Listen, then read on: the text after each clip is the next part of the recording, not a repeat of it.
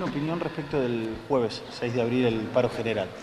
Bueno, la verdad que un paro de esta magnitud creo que todos los tenemos que escuchar. En primer lugar, obviamente el gobierno nacional y después todos los que somos parte del sistema político argentino. Un paro de esta magnitud donde por lo que se han manifestado los gremios no va a haber ninguna actividad, llama la reflexión. La situación eh, es compleja.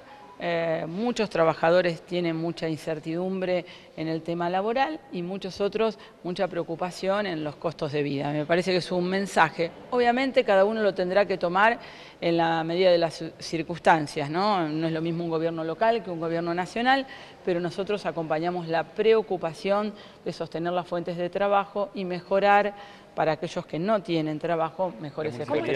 Va, va a estar cerrada teniendo en cuenta que los trabajadores generalmente van a parar? El sindicato municipal ha adherido al paro y por lo tanto las actividades, salvo las guardias, eh, por supuesto de salud, eh, el resto el sindicato ha definido parar, así que va a estar cerrado.